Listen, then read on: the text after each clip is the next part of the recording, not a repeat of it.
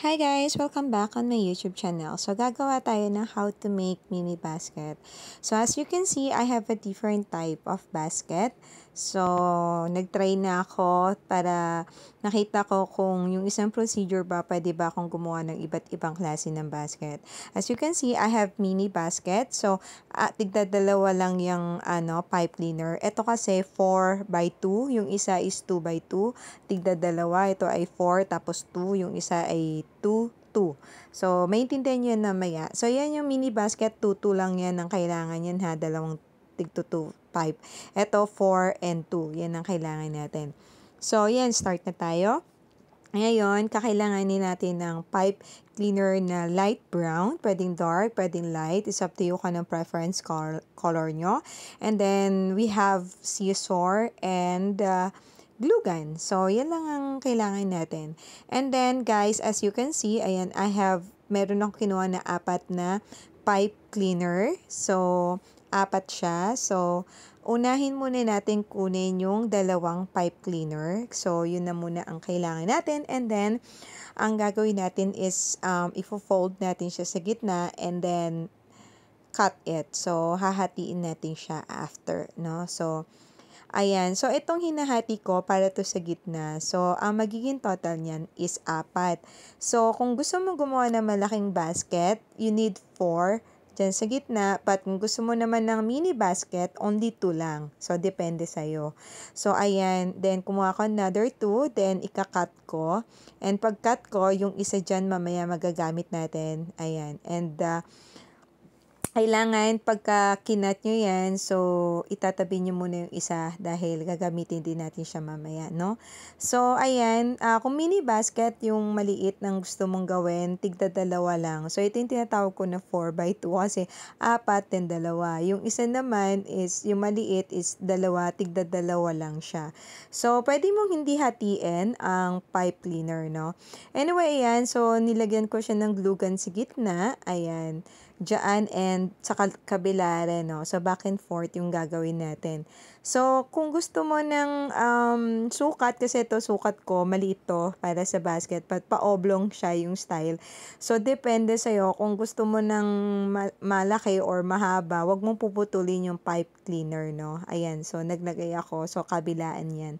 So, kung gusto mo na malaking basket, wag mo hatiin yung pipe cleaner. Kasi ang preference ko dito is maliit lang yung basket na gagawin ko and uh, pa-oblong siya. So, mini basket. So, pwede mong hindi putulin yung pipe. Nasa sayo yan kasi ikaw naman na magde-decide. And madali din naman ayusin tong pipe cleaner kasi madali lang siyang i-bend. Anyway, nasa iyo kung gusto mong pabilog, pahaba, pa-oblong, or kahit anong style. Still, same lang siya ng procedure. Pero, depende lang siya kung gusto mo tigda dalawa or apat, no? Depende sa'yo. So, as you can see, ayan na. So, nakagawa na tayo. So, kukuha tayo ng panibagong dalawang pipe cleaner. Ayan. So, ang gagawin natin is, ibebend lang natin siya ng konti. So, yan yung para maging hook natin para um, hindi siya ano, yung magalaw ba. So, kaya kailangan natin gumamit niyan. So, para i-hook. Then, i-hook natin siya dun sa apat, no? Ayan. Yung nakikita mo. And then, i, iaano mo lang siya, ipipipi pa ng mahigpit para hindi siya matanggal. So, madali lang gawin tong basket na to guys. Depende kung anong sukat or tangkad or haba o taba ng iyong um, basket, no? As you can see, ayan, um, nasa taas, then ibababa siya. So, alternate lang yung ganitong process. O, mamaya papayita ko sa inyo kung ano nang susunod na mangyayari. So, kaya panoorin mo tong video nito hanggang dulo. Pag hindi mo naman naintindihan, you can comment there on the chat box and I will answer all your question, guys. Ayan. So, madali lang siya, guys. Ayan. Pwedeng, like I said ha, kung pa-oblong, pa-oblong nyo gawin yung design. Pwedeng pabilog. Depende sa inyo. So, ayan. Kung nakikita nyo na, ayan. So, binen ko para mas madali nyo makita yung gagawin ko. So, ayan. So, ayan. So, ilalagay natin siya. So, alternate siya sa taas, sa baba, taas, baba. Yun lang. And pamaya maghihiwalay yung dalawang yan. Papakita ko sa inyo kung paano siya maghihiwalay para magmukha talaga siyang basket. So, as you can see, ayan. So, nag-start tayo sa ganyan. Ayan. Then, after nyan, ayan, up and down, kung nakikita nyo sa taas at sa baba. Ayan, dyan na sila maghihiwalay. Ayan. O, diba? Naghiwalay sila. Pero dyan lang ha. Ayan. Hindi sa totoong buhay. Ayan. Para siya magmukhang basket, no? So, ayan. So, nakikita nyo, nakikita nyo na, ayan, naghiwalay na sila. So, makikita nyo, alternate na siya, no? So, yan napakadali lang niyang gawin. Just sundan niyo lang talaga yung yung video guys hanggang dulo. And guys nga pala kung bago ka sa aking YouTube channel, please don't forget to like, share, and subscribe na rin kung bago ka. And welcome nga pala sa aking YouTube channel. And marami akong iba't ibang klase ng video. Kung gusto mong panood, just punta ka lang sa playlist at marami ka makikita doon na iba't ibang video um, about using pipe cleaner, no? And guys, ito sakto to sa mga mommy or mga tita or mga home base na gusto mag-start ng business, no? Kasi maganda siya pang business at the same time and meron tayong extra income. Ayan. So, kung nakikita niya, tinuturo ko na yan. Ayan. So, napakadali lang yung sundan, guys. And repeat the process lang hanggang sa makarating ka dun sa desire na sukat ng gusto mong basket, no? Nasa sayo yan kung anong gusto mong ano. And to make sure guys, bago nyo ipagpatuloy yung basket, dapat meron ka ng preference na ano ha, uh, basket kung gusto mo pabilog, pahaba, para bago pala mag-umpisa, i-shape mo na itong basket na to. Kung gusto mo pabilog, i-shape mo siya. Kung gusto mo pa-square, shape mo na siya. Kung gusto mong uh, pa-oblong, i-shape mo na siya para hindi ka mahirapan mamaya. And kapag kinulang naman at nabitin, no, ayan, so dagdagan mo lang siya ng pipe cleaner, pero i-twist mo siya ng maigi na hindi siya basta-basta matatanggal. Pwede kang gumamit ng pliers kung nasasaktan ka dito sa ano na to, wire na to. Ayan. So, to make it sure lang na safe talaga na hindi siya matatanggal mamaya. And siguraduhin mo rin na wala mga kawang-kawang, no? Kaya aayusin mong maigi yung basket mo na hindi nakikita yung mga butas-butas para hindi siya um, pangit tingnan kung in case, no? And pwede mo ring lagyan ng glue yan kung gusto mo para mas matibay pero ako hindi na ako naglalagay ng glue kasi um, pag nilagyan ko yun ng flour, maglalagay kasi ako dyan ng tissue para maging mas mabigat at mas matibay and didikitan ko yun ng glue. Kaya yun na yung magiging ano niya, um, pundasyon para maging matibay yung basket ko. And anyway, ito nga palang basket na to, eh, meron pa tong kasunod. So, this is a part 1. So, I have a part 2 ng paglalagay ko ng mga flowers or ano man ang pwede kong ilagay. So, kaya kung gusto mo makita ang kabuuan ng video pagkatapos nito, please don't forget to subscribe and click the bell para ma-notify ka sa aking mga upcoming uh, videos and all all bell ka na rin ha. And guys, meron din akong Facebook page, Craft Artworks, kung gusto, kung gusto mo ring um, i-follow ako, ayan, meron akong Facebook page and of course, I have also YouTube, ay YouTube, yes. Ito, Yani TV and of course, I have TikTok din. Ayan, Miss Padutdut.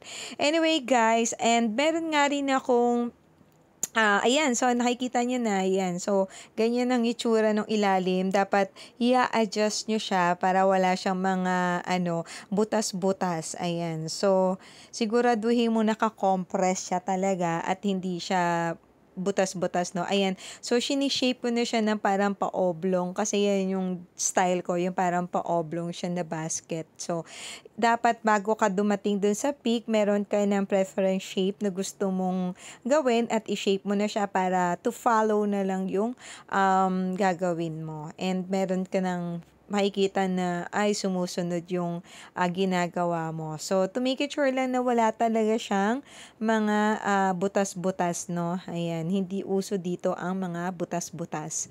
Ayan, dapat sila ay naka-compress. Anyway, guys, meron din akong personal merch dito sa YouTube ko. So, pwede mong i-click yung aking uh, basket dyan. Meron akong store. So, pwede mong um, i-visit ang aking uh, store page sa meron dyan yan.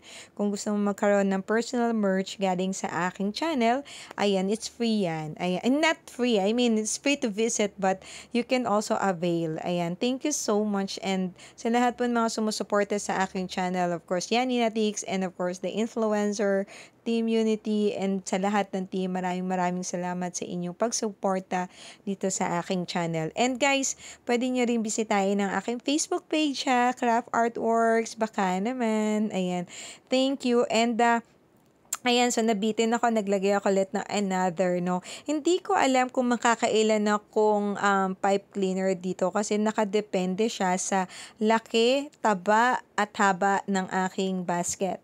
So, hindi ko alam kung nakailan ako. Depende yan sa inyo kung anong sukat ng basket ang gusto nyo.